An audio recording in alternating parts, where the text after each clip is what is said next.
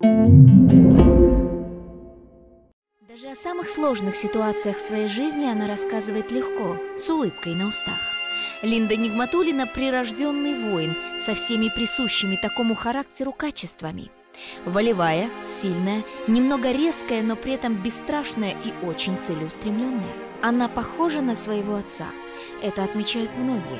Те же черты лица, та же решимость во взгляде, та же мощная энергетика, заполняющая собой все пространство. Его образ, его жизнь, его творчество, путеводные звезды для Линды, даже его гибель, и та оставила неизгладимый след на ее характере. Она с детства научилась защищаться, рассчитывать только на себя и с достоинством усваивать жестокие уроки жизни. Ты знаешь, мне кажется, мне ужасно везет в жизни с людьми безумно везет. Я всегда встречаю каких-то очень правильных, благородных людей. А подобное притягивает подобное. Дай бог. Спасибо тебе огромное. Дай бог. Дай бог, что так и есть, так и будет. Потому что были моменты, когда просто аховые моменты, когда ну все, нет, нечем платить за квартиру, нет ни денег, ни возможностей, нет тупой еды. И были люди, которые говорили, ничего-ничего, все будет, все будет хорошо, ты продержись только. Я очень много выходных, вот именно субботу и воскресенье, проводила у своей любимой тети. Это бабушкина младшая сестра в колхозе. Это был такой Кызылгарат, сейчас Кызылкайрат называется. Ага. 20 километров от Алматы. И я помню, это были самые счастливые моменты, когда я приезжаю, контроля нет, мамы нет, все родственники тебя обожают. Хочешь малину кушай, хочешь там немытую кушай, ее манты с тыквой. Я до такой степени их люблю, что научилась готовить. До такой степени их люблю. Поэтому там были бараны, которых я кормила, я помню. Был один момент, когда, как и знаешь, из молчания гнят, когда я уперла маленького, маленькую овечку в поле, и мне казалось, я его спасаю этим самым. Его должны были, вот мы приехали из города гости, мы должны были его зарезать. Я говорю, дура, что ты делаешь, вот тут собаки съедят. Ну, в общем, короче, это бы я так плакала, я помню. Ну, барашка в итоге съели, не смогла я его спасти, но это повлияло на мое мировоззрение, то есть э, то, как я сейчас живу. Линда, только что наблюдала за тобой и за тем, как ты общаешься со своим сыном. Очень опекаешь. Сумасшедшая мама? Да.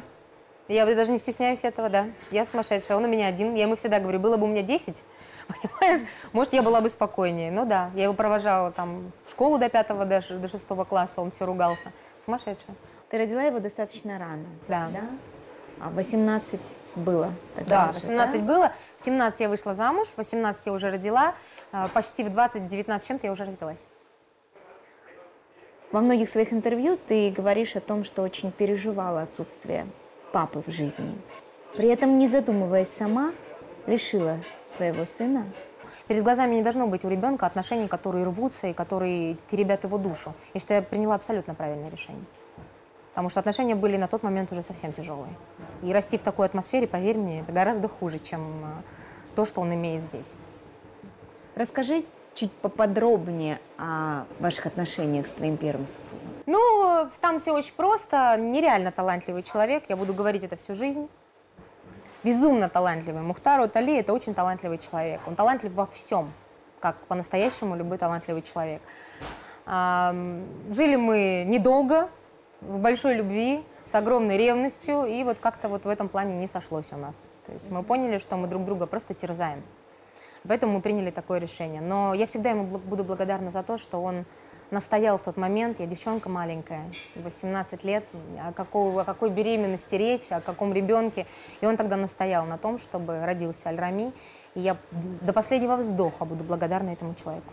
Линда и Мухтар. Об этой талантливой и яркой паре в те годы судачила вся музыкальная тусовка Казахстана. Он уже известный исполнитель, солист популярной группы «Бублики», она – начинающая певица из герлс-бенда «Нисо». Их объединяло многое – любовь к музыке, философский взгляд на жизнь и талант, которым оба были наделены сполна. Была большая любовь, огромные амбиции и потенциал, не хватило малого и самого простого – понимания – Сегодня у Мухтара другая семья. Линда пока одна. Она не может позволить себе ошибиться дважды. И главное для нее сегодня реализоваться в профессии и вырастить счастливого человека. Более того, я знаю, что у тебя дома живут шесть да. кошек.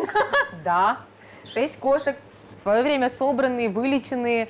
А, и так получилось, что кого-то мне удалось отдать, кого-то не удалось, и кого не удалось, теперь это мои любимые, замечательные кошки. Еще есть маленькая собачка, но это подарок. Она такая совсем маленькая, такая вся. Она меньше, чем любая моя кошка.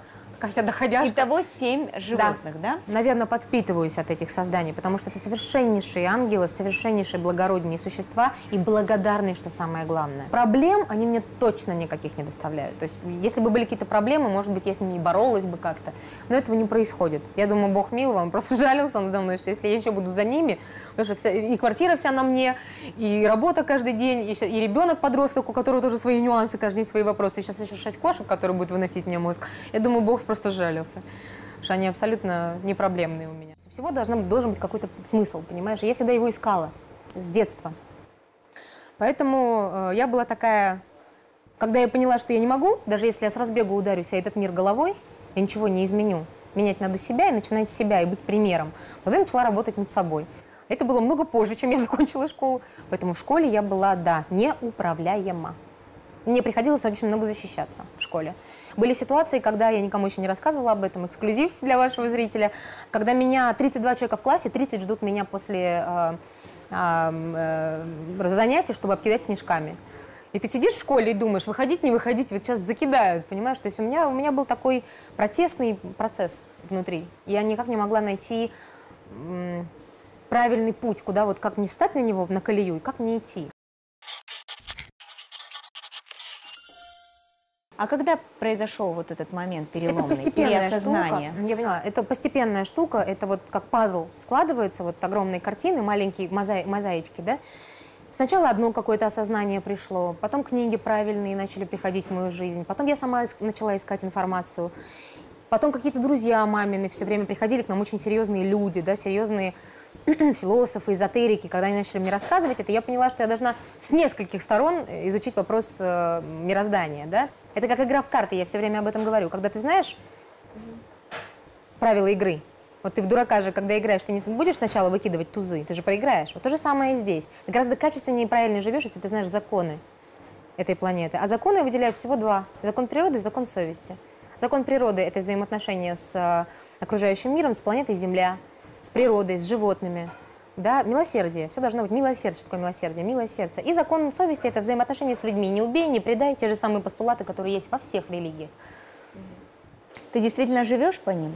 Вот в том-то и дело, что я действительно по ним живу. И тогда, когда не очень это удобно, когда вот вроде бы никто не узнает, можно здесь еще что-то, у меня мысли не возникает, я потом анализирую, думаю, молодец, да, тяжело, бывает очень тяжело, бывает просто нет денег вообще.